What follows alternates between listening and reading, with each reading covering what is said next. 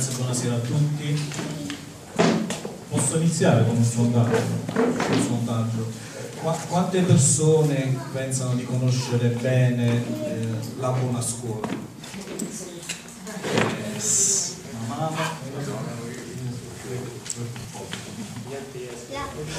Quanti,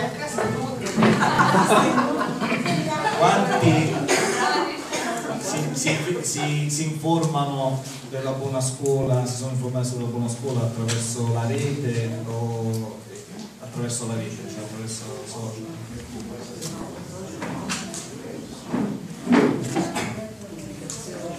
Questo diciamo è un campionamento per dire che in sostanza noi non riusciamo più a recepire informazioni dalla, dalla nostra informazione pubblica che è Rai 1, Rai 2, Rai 3 e che in sostanza oggi è in mano al Partito Democratico che ha eletto un amministratore delegato che sceglierà tutti i dirigenti, non più in un consiglio di amministrazione insieme a, ad altri eh, consiglieri, ma da solo sceglierà i dirigenti delle testate dei TG, i dirigenti delle reti e si farà un'informazione del Partito Democratico. Dall'altra parte abbiamo l'informazione di Mediaset, di Berlusconi, che sostanzialmente naturalmente porta acqua al suo mulino eh, del centrodestra.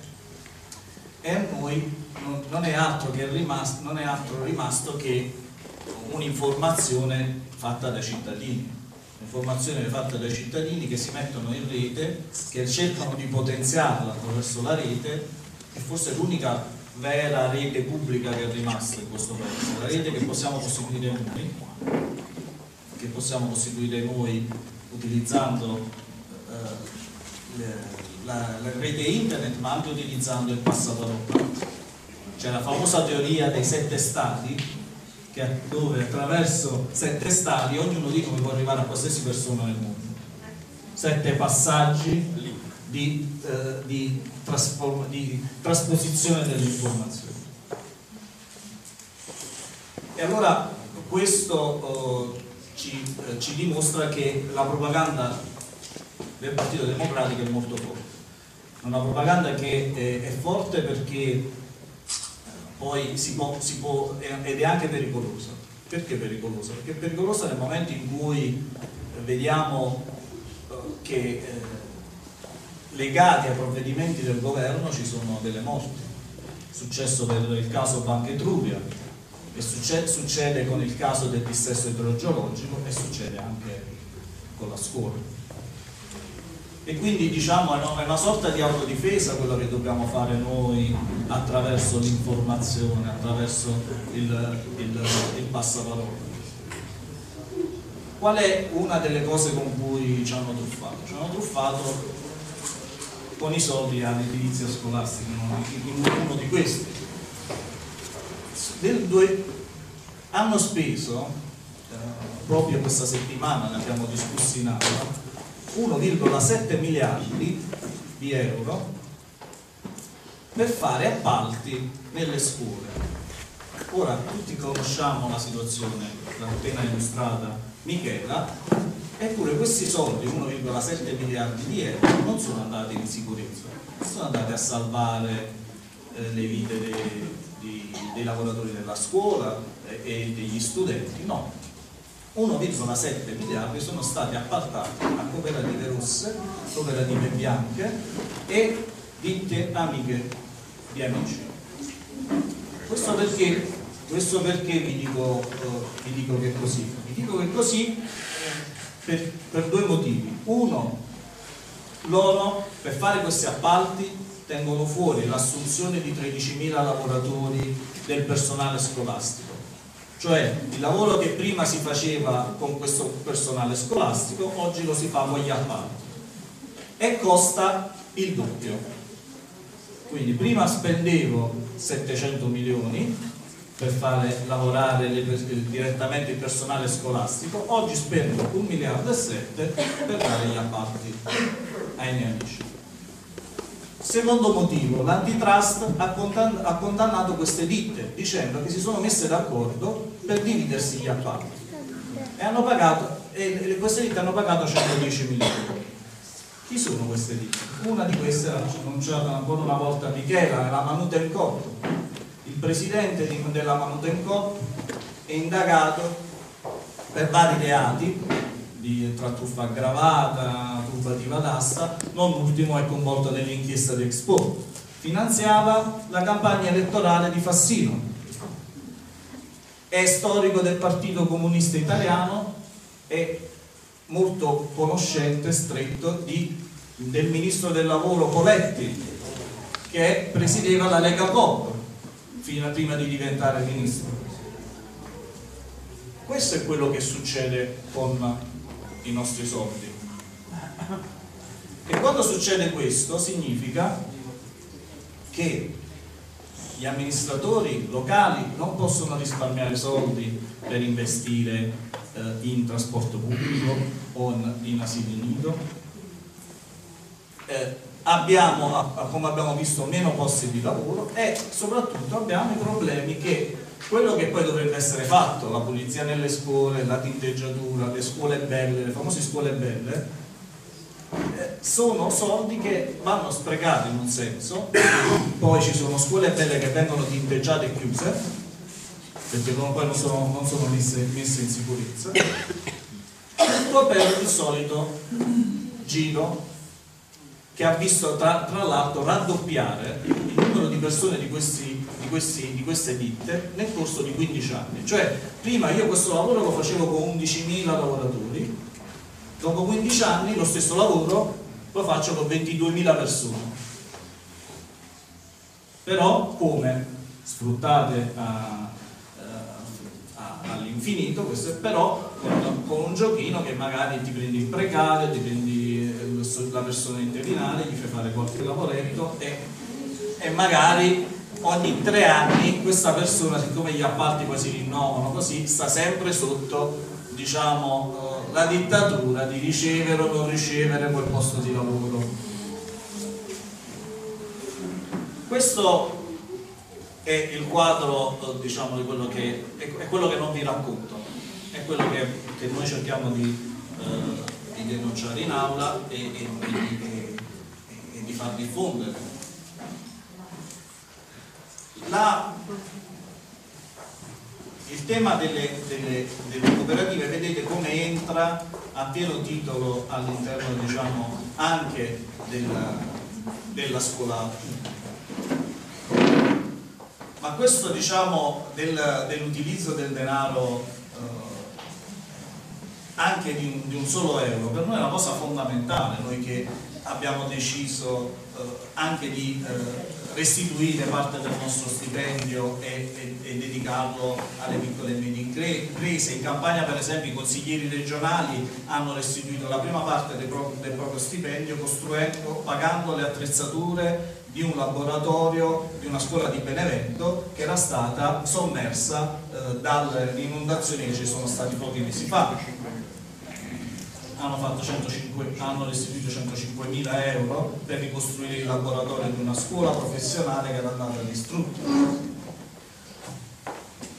Ma non c'è solo questo aspetto naturalmente nella, eh, nella, nella buona scuola, quello che viene chiamato buona scuola, ma c'è una vera anche mercificazione. Uno dei punti fondamentali è questo. Prima si parte con precarizzare il personale della scuola. Perché lo si precarizza il personale della scuola? Perché il dirigente scolastico può decidere eh, di mandare il personale dopo tre anni in un'altra scuola perché non gli è piaciuto allora, io sono un docente, sono un docente di elettronica, dal 2005 insegno nelle scuole e ho, visto, ho, visto, ho incontrato tanti dirigenti scolastici. Il primo dirigente scolastico che ho incontrato non voleva, eh, non voleva assumersi, assumermi perché voleva assumere una persona del posto. Ero in Trentino Alto Adige, quindi succede in tutte le parti del mondo questa cosa ho dovuto mandare una lettera d'avvocato per far valere i miei diritti. Ora, in questo caso il dirigente scolastico naturalmente non ha piacere di avere all'interno di una scuola una persona che gli manda le lettere dell'avvocato. Sono stato in un'altra scuola, questa volta ad esempio in provincia di Cosenza, e il dirigente scolastico è venuto a sindacare come mi vestivo, qual era il mio abbigliamento. Che poi sono stato in, alcune, in un'altra scuola dove il dirigente scolastico ha costruito una vera e propria comunità che funzionava, che eh, da, eh, faceva funzionare, portava valore aggiunto agli studenti. Ma noi possiamo lasciare al caso questa cosa? Possiamo lasciare anche alla valutazione di un ministero che sta in mano al Partito Democratico dei singoli dirigenti, sceglierà quale sarà il dirigente che sta, si sta comportando bene o che si sta comportando male. La scuola, per come io l'ho vissuta, raggiunge il suo massimo della forza quando riesce a costruire quella comunità importante che, che eh, riesce a costruire una rete sociale attorno ai giovani, attorno agli studenti e non un sistema di fili di obbedienza che viene dal ministero fino ad arrivare ai dirigenti scolastici, fino ad arrivare eh, al docente. Non è, non è diciamo, questo il modello della Costituzione che vuole una scuola comandata dall'alto da un solo uomo. Ma c'è anche l'aspetto di mercificazione nella scuola. Proprio in queste settimane noi abbiamo discusso con il Ministero dell'Istruzione due due interrogazioni. Una che riguardava McDonald's. Direte, ma cosa c'entra McDonald's con la scuola? C'entra, perché le nostre scuole, il governo ha detto che non riuscirà mai a dare tutti i soldi che servono alla scuola e quindi sì, bisogna rivolgersi ai privati. Allora, ecco la scenetta che succede nella nostra scuola, non, non stiamo parlando di, di una repubblica sudamericana in mano a qualche dittatore dimenticato, no, la scuola italiana succede che la maestra entra in classe, apre il suo registro, fa l'appello, chiama i, i bambini e dice caro Giovanni, quanti bollini di McDonald's mi hai portato oggi? Il bambino si alza, maestra ho 5 bollini. E le dà alla maestra, così finisce l'appello, la maestra raccoglie i bollini di McDonald's e li conserva perché a fine anno questa raccolta di bollini permetterà alla scuola di acquistare del materiale didattico perché questi bollini verranno portati da McDonald's e, e McDonald's comprerà, comprerà, del materiale didattico. E, e, e, queste notizie naturalmente fanno anche sponsorizzazione a McDonald's. Uh, a Ferrara ha portato materiale di 80.000 euro in una scuola McDonald's dopo che tutte le famiglie avevano speso 500.000 euro nella sua, eh, nella sua, azienda. Abbiamo fatto un altro question time questa, questa settimana sul caso di oh, eh, del, dell'insegnamento di musica in una scuola che veniva fatta attraverso la società Yamaha che produce strumenti musicali. Questa società insegnava musica ai bambini durante l'orario curriculare, cioè la mattina.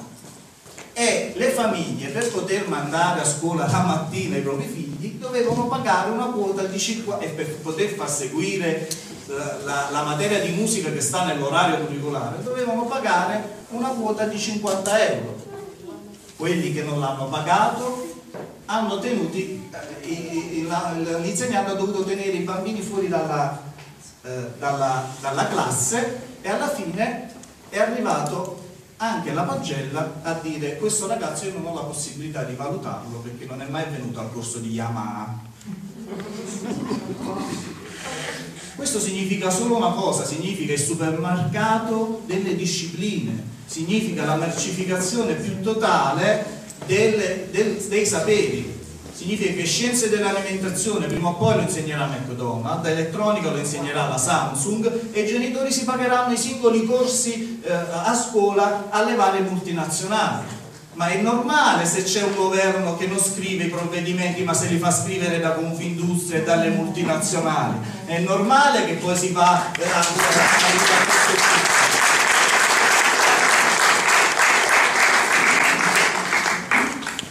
questo è quello che noi abbiamo annunciato che è la fine della scuola pubblica e contro tutto questo noi stiamo cercando di porre un freno perché io vi dico che arrivare in Parlamento e vedere fare spallucce ai ministeri quando gli preponti queste, queste domande eh, eh, fa, fa, sconvolgerebbero tutte ma siccome è tutto silenziato siccome queste cose ce le riesciamo solo in questa stanza o attraverso i social il Ministero dell'istruzione e il governo dorme sogni tranquilli però è arrivato il momento che eh, noi cominciamo a cercare di far girare le informazioni giuste, a parlare con le persone perché siamo noi, come dicevo all'inizio, l'unica rete pubblica di informazione che può veramente portare l'Italia in una nuova fase.